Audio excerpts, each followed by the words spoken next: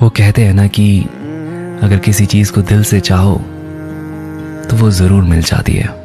घर से थे चले तो ये बात हो गई।